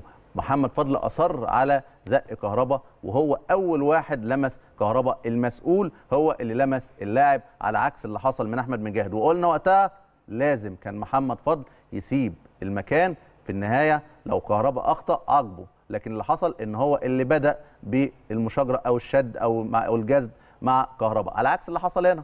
باشمهندس أحمد مجاهد سابه. كهربا شيكابالا هو اللي كان مصر على محاولة الاعتداء عليه. ففكرة إن أنت تقول دي زي دي لا. ولو كان في حد كان المفترض يوقع عليه عقوبه في أزمة كهربا محمد فضل أعتقد كنا عارفين إن الكابتن محمد فضل مش كهربا لكن حاليا أمر المشاجرة بين الباشمهندس أحمد مجاد هو حر. يتكلم فيه زي ما هو عايز. يتهاون في حقه هو حر. لكن حق النادي الأهلي وجماهير النادي الأهلي غير مسموح بالتهاون فيه. وبالتالي إحنا منتظرين عقوبة شيكابالا في إساءته لجماهير النادي الأهلي. بالكذب حتى والتضليل في فكرة أبطال على مين؟ إحنا أبطال على أي فريق داخل قاره أفريقيا. هنرد ونوضح إن أبطال عالمين هي بالورقة والقلم مش بالكلام المرسل لأن أنت داخليا عارف كويس قوي إن أنا أصلا موجود في المشهد عشان أكون بطل وبس. ولكن رسالة أخيرة حق النادي الأهلي وجمهوره ما بيتسابش واللي أساء للنادي الأهلي لازم يعاقب. كنت عايزه يحضر يستلم الدرع أعتقد دلوقتي ما بقاش في مبرر لعدم العقاب لأن المشهد أصبح بيسيء للكرة المصرية ككل. وزي ما قلنا خلوق طه بصري شوف الاسم اللي هتحطه قبل اسمك إيه عند جمهور النادي الأهلي. نشوفكم بعد الفاصل وهتستمر الحلقة في سكونت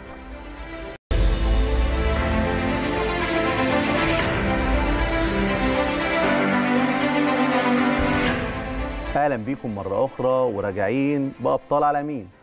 غنوه بتتغنى أنا بصراحه مش قادر اصدقها.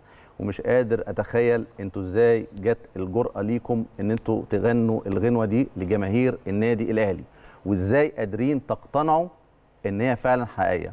جماهير النادي الاهلي لما بتطلع بتقول من تالتة شمال بنهز الجبال وبأعلى صوت دايما بنشجع الأبطال تتكلم من خلال تاريخ من خلال بطولات من خلال شبه اكتساح. من خلال نادي هو في مص... في صدارة أندية العالم من حيث تحقيق الألقاب محلية وقارية. فبتتكلم وعارفة هي بتقول إيه كلامها متسق مع النادي اللي هي بتشجعه. لكن لما تطلع أنت تقول لي هو أنتوا أبطال على مين؟ لو أنت مستني الإجابة إحنا أبطال على حضرتك.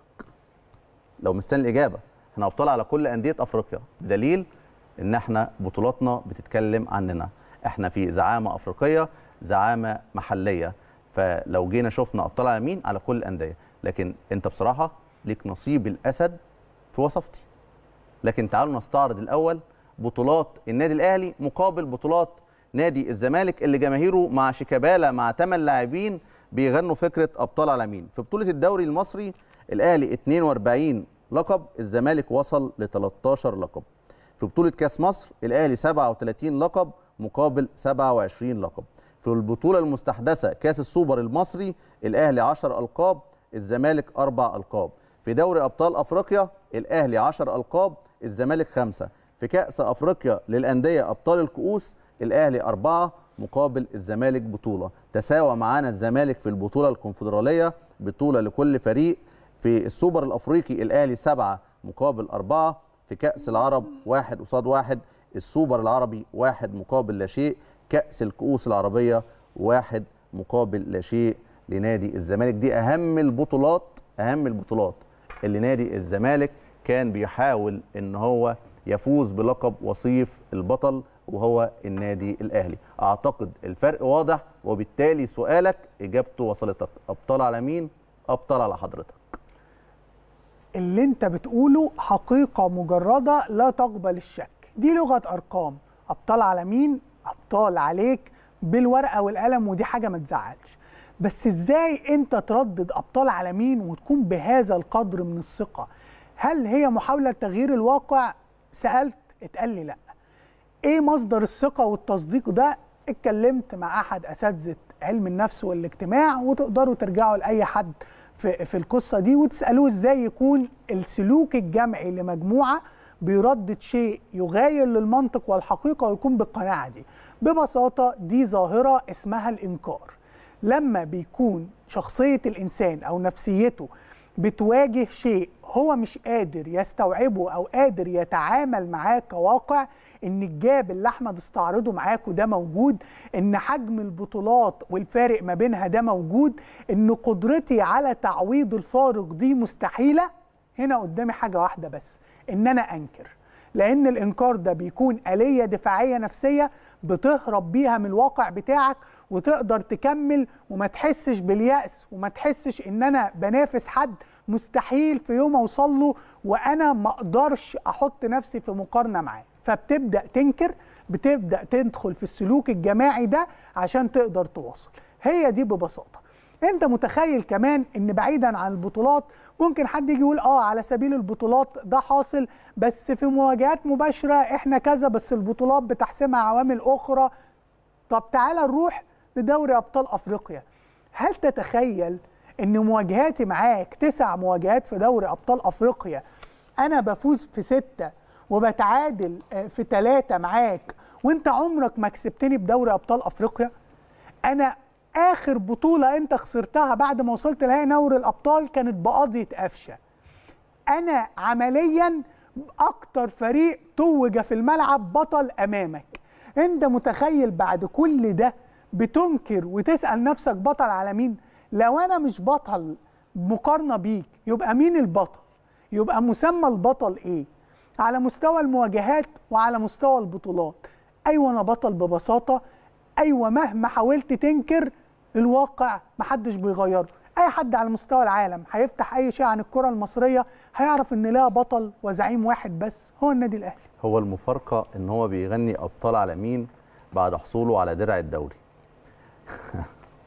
بعد حصولك على درع الدوري اللي أنت واجهت فيه النادي الأهلي مواجهتين كانت أقصى أمالك إنك تتعادل معاه وتحققت في المباراة الدور الثاني بالتعادل واحد واحد وقدرت تعوض خسارتك أو تلحق خسارتك أو تأخرك وتسجل هدف التعادل.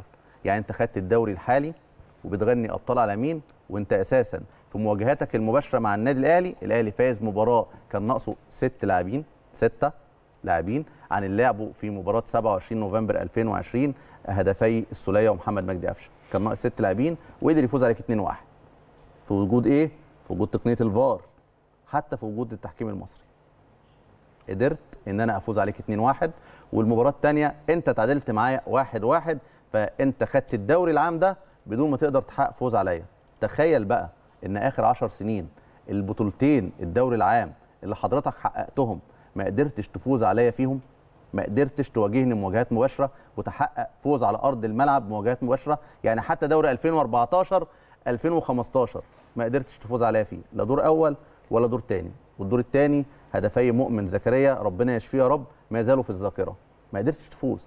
ده انت حتى في 2014 2015 ما قدرتش تحقق فوز واحد على فرق المربع الذهبي. يعني انت كنت متصدر الثاني والثالث والرابع انت مواجهاتك المباشره ما قدرتش تحقق فوز. متخيل؟ لكن أنا ماليش علاقة بالفرق الأخرى. أنا ليا علاقة بالنادي الأهلي. لكن النادي الأهلي الخمس مواسم الماضية خد الدوري وخدك في طريقه للدوري.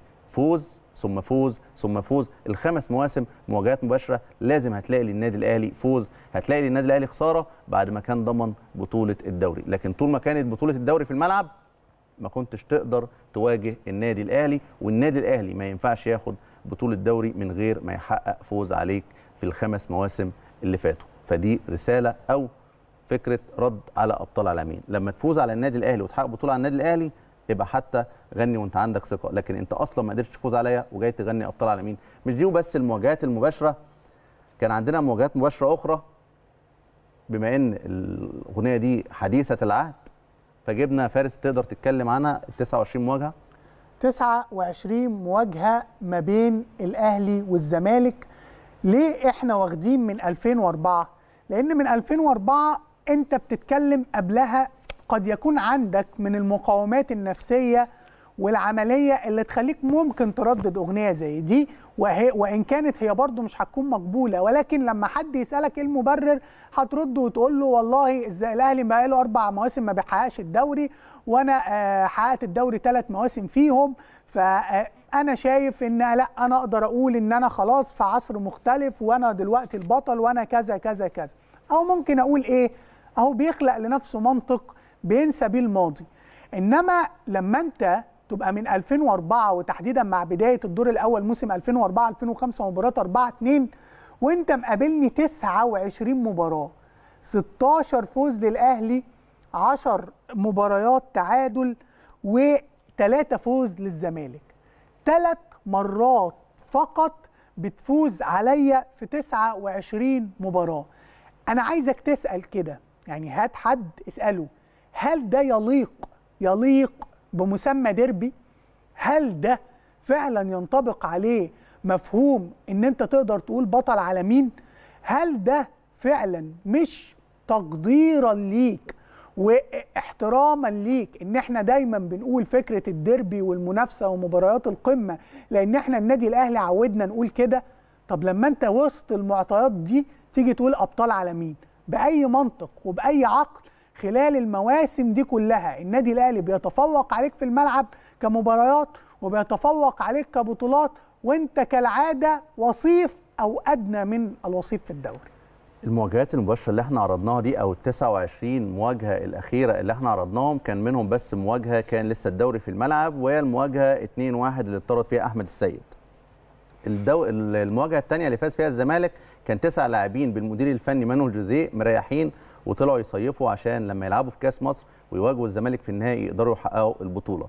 المواجهة الثالثه كان دوري الدوري محسوم للنادي الأهلي وكان أول حكم مصري محمد الحنفي نخسر معاه بعد 11 سنة من المواجهات داخل الدوري لو جينا خدنا تس آخر 29 مواجهة بين النادي الأهلي ومعظم فرق الدوري الموجودين حاليا 17 هتلاقي في فرق عملت نتائج أفضل من اللي حققها نادي الزمالك.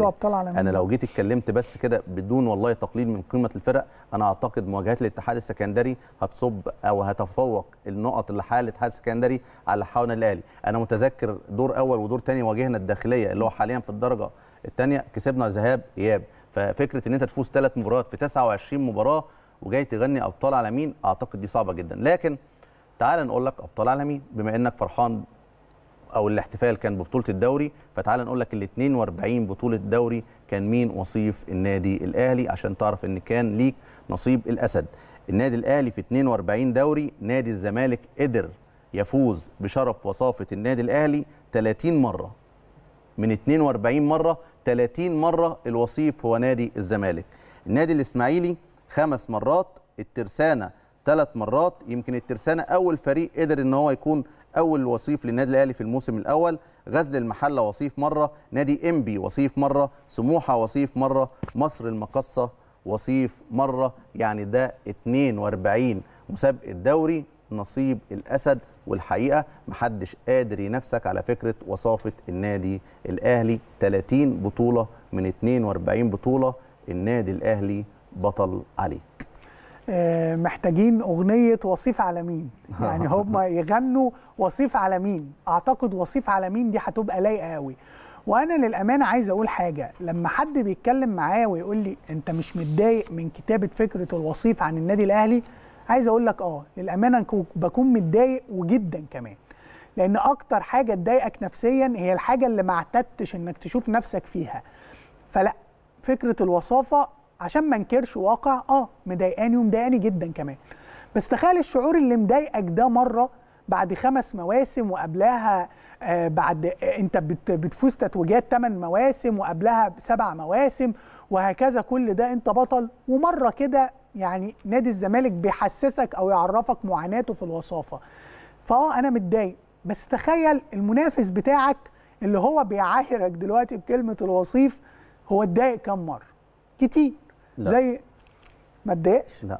انت انت كنت بتتكلم عن علم نفس ورحت سألت ناس في علم النفس وأنا موجود. صحيح. الاعتياد على الشيء الاعتياد على الشيء بيقلل فكرة إن أنت تكون متضايق منه.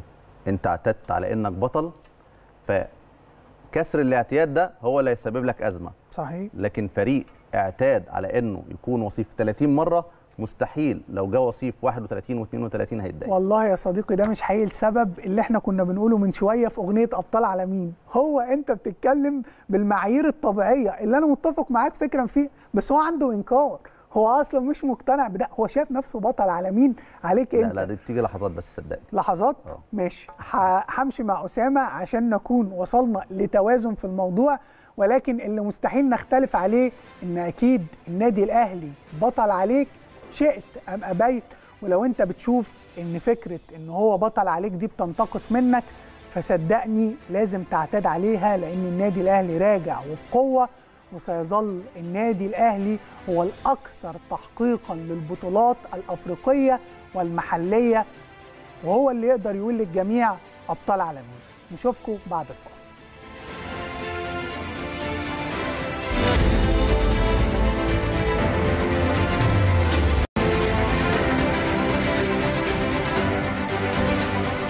ما استعرضنا ليه شيكابالا وصل للحالة دي ووصل عن طريق أبطال عالمين واستعرضنا أبطال عالمين جاء الوقت إننا نرد برضه على كلام هو لا يقل من فكرة الكلام الأول أهمية بالنسبة للمنافس ولكنه بالنسبة لنا مش بالقدر ده من الأهمية ولكن لازم نرد عليه.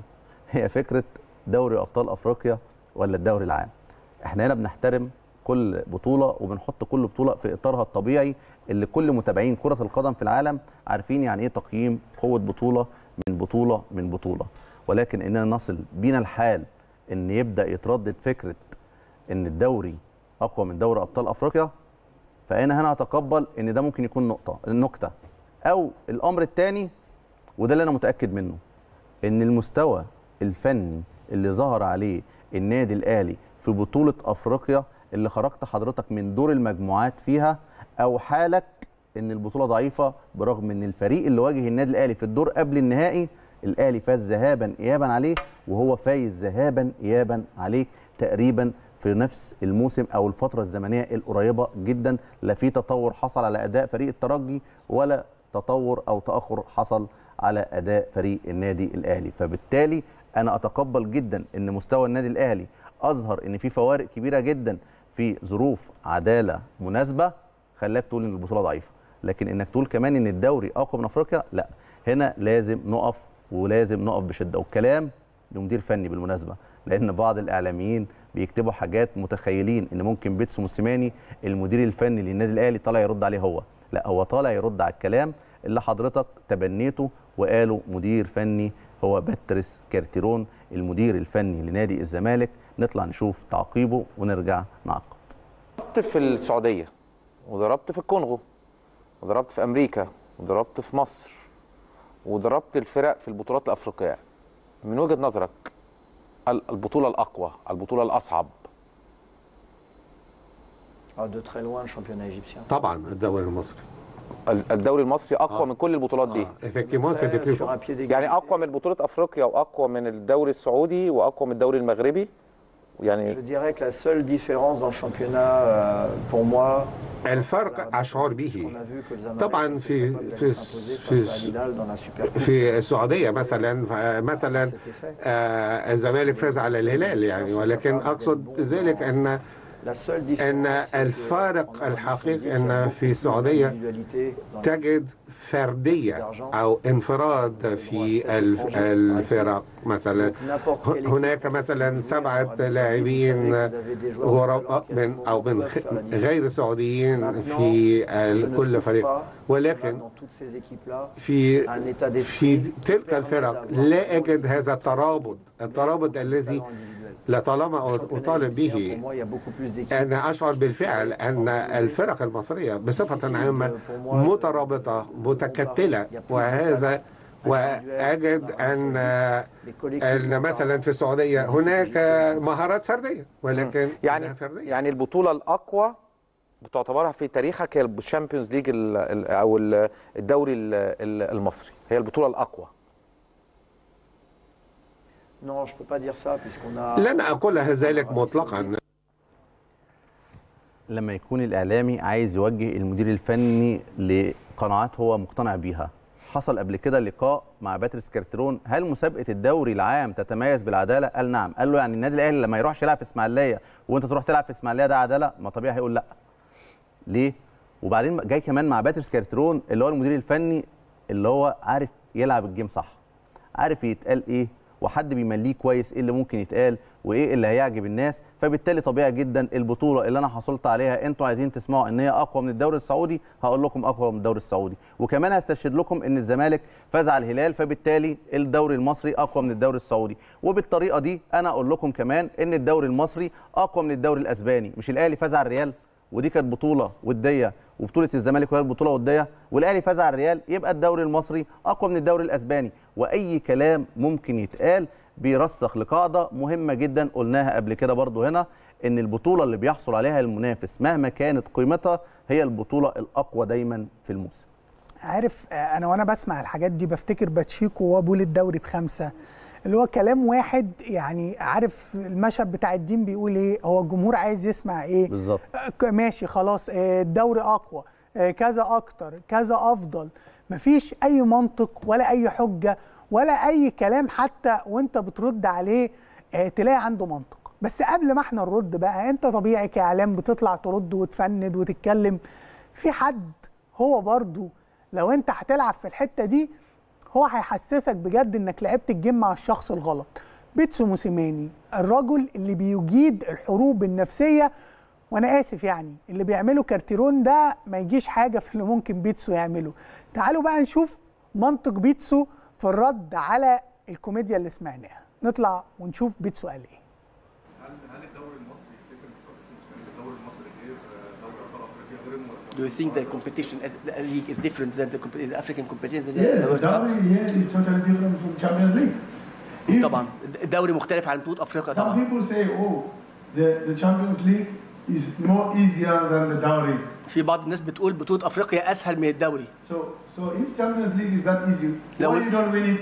طب لو بطولة افريقيا فعلا اسهل من الدوري ما كسبتهاش ليه؟ And when was the last time you won it? واخر مرة انت كسبتها كانت إمتى؟ Do you know what I'm trying to say? فاهم أنا عايز أقول إيه؟ And I don't want to mention, مش عايز مش عايز أوضح. مش عايز أوضح اسامي مش عايز أذكر أسامي أندية. اللي خسروا في بطولة أفريقيا. مرتين. five. كسبناهم مرة خلاص يعني. Okay, so, so okay okay كلام صعب. طيب دوري أبطال أفريقيا بطولة أسهل من الدوري؟ طب ما بتكسبهاش ليه؟ وآخر مرة كسبتها إمتى؟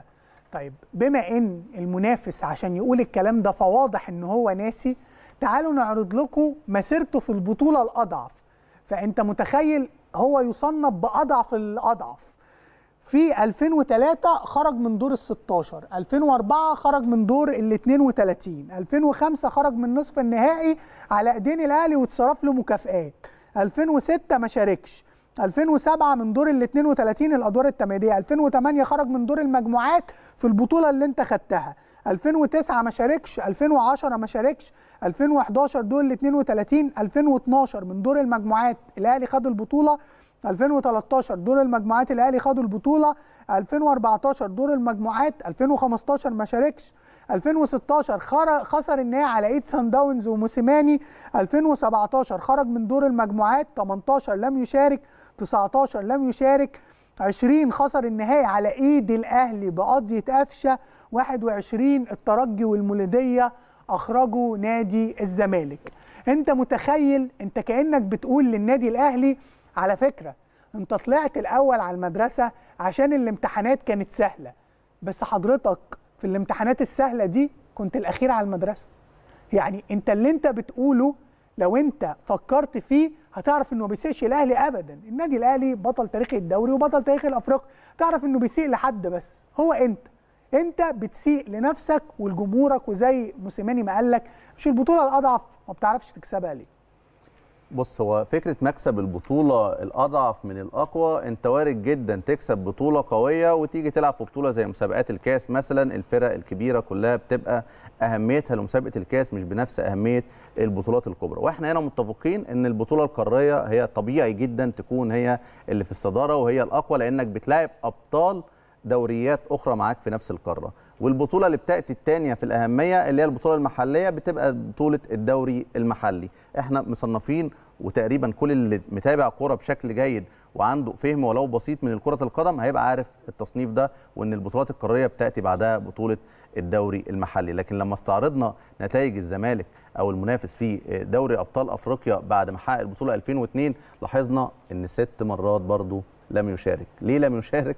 لأن ما كانش قادر ياخد وصافة النادي الأهلي في الدوري مر بظروف يطلع ثالث يطلع رابع سادس مرتين في دوريين من 2009 ودوري 2006 فبالتالي ما كانش بيقدر يشارك. مواجهته مع النادي الأهلي كانت بتتيح بيه خارج البطولة. الأهم من كل ده في الوقت اللي النادي الأهلي بيحقق فيه البطولة كان فريق نادي الزمالك بيحصل على أربع مرات مركز أخير في مجموعته. أربع مرات ثلاثة كان منفرد ومرة كان مشترك مع فريق آخر. لكن نروح لبطولة الدوري. بما إن بطولة الدوري هي داخلة في مقارنة مع بطولة دوري أبطال أفريقيا نشوف بقى البطولة الأقوى. يمكن نادي الزمالك محقق في البطولة الأقوى نتائج أفضل. هتلاقيه 2003 بطل الدوري و2004 بطل الدوري. حصلت انفراجة وتعاقدات وصفقات واستفاقة مهمة للنادي الأهلي فخد مركز سادس 2005 مركز ثاني 2006 مركز ثاني 2007 مركز ثالث 2008 رجع خد مركز سادس مرة أخرى 2009 مركز ثاني 2010 مركز ثاني مركز ثالث 2015 بطل 2016 مركز ثاني مركز ثالث مركز رابع مركز ثاني مركز ثاني مركز أول 2011 المركز الثاني سبع مرات بيحققهم نادي الزمالك عشان برضه بيكون في صراع مع باقي أندية الدوري في فكرة إن هو يكون وصيف النادي الأهلي. أعتقد آه، دي رد على أبطال عالمين ورد على الدوري أقوى ولا أفريقيا أقوى وده كان رد عملي من موسيماني ومننا بالأرقام. ولكن هنسمعك بقى اللي جاي اللي أنت هتستغرب فيه وأنت بتشوف بعد الفاصل مين بنفسه كان شايف إن أفريقيا أقوى. اشوفكم بعد الفاصل.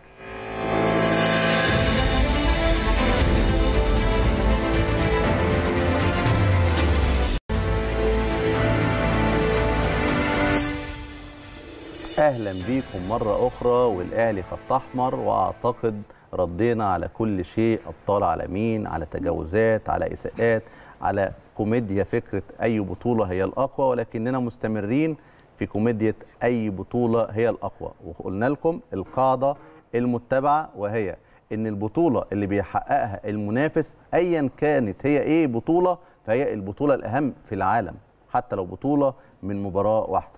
مش مصدقيني؟ طب تعالوا نشوف. مش عايز حاجة خلاص. مش عايز حاجة. يبقى استمتعوا بقى في الدوري.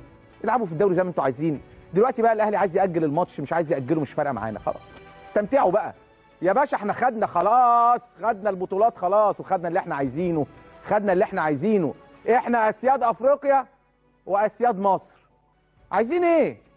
عايزين إيه؟ ده إحنا آخر خمس سنين جايبين 10 بطولات والأهلي 8 الثمانيه كلهم محليين.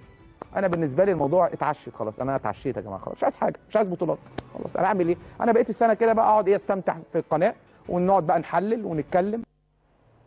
البطولة الأقوى بطولة الدوري كانت بطولة بعد العشاء. بناخدها كده نقعد بقى نحلل وخلاص خدنا كل اللي إحنا عايزينه. إيه اللي أنت عايزه؟ بطولة سوبر محلي وبطولة سوبر أفريقي. إن لو النادي الأهلي طلع بموسم في بطولة سوبر محلي وبطولة سوبر أفريقي الدنيا تتقلب. الدنيا تتقلب حرفيا. الناس بتتعشى ببطولتين من مباراتين وبيقولوا إن الدوري خلاص بقى نقعد نحلل براحتنا إحنا خدنا كل اللي عايزينه وخلاص اتعشت ده كويس قوي إن إحنا النادي الأهلي تقريبا ما بنتعشاش طول العمر. دايما دايما بايتين بعد كل بطولة من غير عشاء. لكن هو قال إن آخر خمس مواسم كان في تفوق لنادي الزمالك في البطولات. حتى دي مش حقيقي. نستعرض الصورة بتاعه المواسم. هو طبعا بدأ من موسم 2014 2015 حتى هذه اللحظة طبعا كان بعد السوبر كان فات الدوري ما كانش اتحسم لا ده ولا اللي ولا اللي قبله. كانت البطولات حاليا إيه بقى؟ النادي الأهلي دوري أبطال أفريقيا بطولتين لا شيء للزمالك. الكونفدرالية بطولة قصاد بطولة خدها الزمالك. سوبر أفريقي بطولة قصاد بطولة والنادي الأهلي يعني عنده بطولة سوبر إن شاء الله يحققها في شهر تسعة. دوري عام الأهلي خمس مواسم الزمالك موسمين كاس مصر هي البطولة اللي بيتفوق فيها دايما نادي الزمالك لأسباب متعلقة بفكرة الفريق البطل في الدول بيكون أهميته أقل بكاس بالكاس. السوبر المصري الأهلي ثلاثة الزمالك اثنين منهم واحد قال خلاص مش عايزين حاجة تاني كأس العالم للأندية. النادي الأهلي بيحقق برونزية ونادي الزمالك لم يصل أو يعرف معنى بطولة كأس العالم للأندية لأن لما تيجي تتكلم عن كأس العالم للأندية هتقول النادي الأهلي فقط لا غير. طيب لما نتكلم عن السوبر الإفريقي اللي هو مش البطولة الأقوى في أفريقيا حتى عدد نقاطها في تصنيف أندية القرن أقل بكتير جدا من التتويج بدوري أبطال أفريقيا أو الكونفدرالية. تعالوا نشوف لما قارن البطولة دي اللي هي تعتبر البطولة الإفريقية الأضعف ببطولة زي الدوري المصري. كان بيقول عليها خالد الغندور. نطلع نشوف الفيديو. وقفتي هنا قبل كده قلت لكم إيه؟ يا زملكاوية يا زملكاوية استمتعوا في الدوري العبوا في الدوري اكسبوا. بس ركزوا على أفريقيا ركزوا على البطولات. على فكرة البطولة النهارده دي مثلا بتجيب 4 مليون جنيه للزمالك. عارفين بطولة الدوري دي كلها بتجيب مليون جنيه؟ بطولة السوبر عشان هتقام في الإمارات جايبة 2 مليون جنيه. لكن البطولة دي بطولة سوبر أفريقي جايب 4 مليون جنيه. يعني قد مكافأة الدوري أربع مرات. مش معنى كده إن الدوري مش مهم لا الدوري مهم. السوبر الإفريقي أقوى من الدوري بكتير عشان بيجيب 4 مليون جنيه. ما أنت معلش أنا آسف ما كسبتش أفريقيا وما رحتش كأس العالم للأندية. فيا عيني ما تعرفش المبالغ اللي بتدخل من وراهم. عشان ساعتها كان مستحيل تقول إن الدوري أقوى أو مسابقة تقدر تصنفها إن هي بنفس العوائد ونفس القوة.